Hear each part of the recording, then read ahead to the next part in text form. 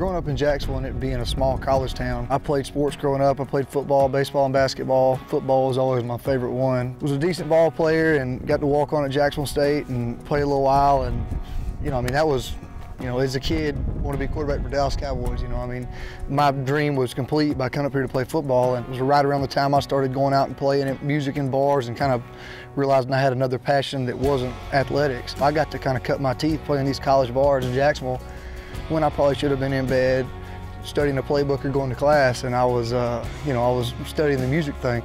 Me kind of steering my whole life towards the goal of playing a little bit of college football and then 19, 20, 21, realizing that I had this passion for playing music and writing songs, and that was definitely a fork in the road for me. I kind of honed in on that music, and that was really my focus, you know, for the last, you know, six or seven years. It worked out in the end, but you know, this is it's still one of those feelings, and anybody that played ball can probably tell you come back to the field they played on is, uh, you know, it's a it's a eerie feeling because you you kind of miss it, you know, and I can I can barely remember strapping up on this field, but it seems like it wasn't that long ago, you know.